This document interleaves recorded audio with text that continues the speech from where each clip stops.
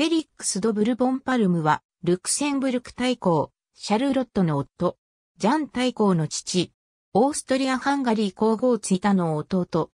プリンスでリュクサンブールの称号を有した、パルマ公ロベルト一世の八男として、オーストリアで生まれる。母は、父の二番目の日マリーア・アントーニア。イタリア語名は、フェリーチェ・ディ・ボルボーネ・パルマ。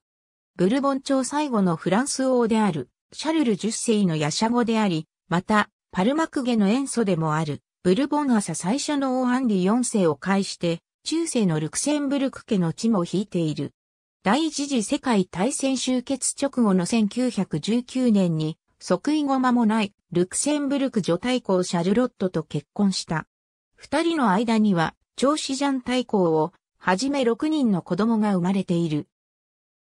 ルクセンブルク赤十字社総裁を2度務めた。カジノで賭けに負け、グリューネバルトを失ったことは有名である。ルクセンブルク政府は法外な金額で買い戻す羽目になり、フェリックスからは贈り物として出費を返してもらった。2006年7月、フェリックスの孫にあたるアンリ大公は森全体を国の資産として付近住民に売却したいと表明した。ありがとうございます。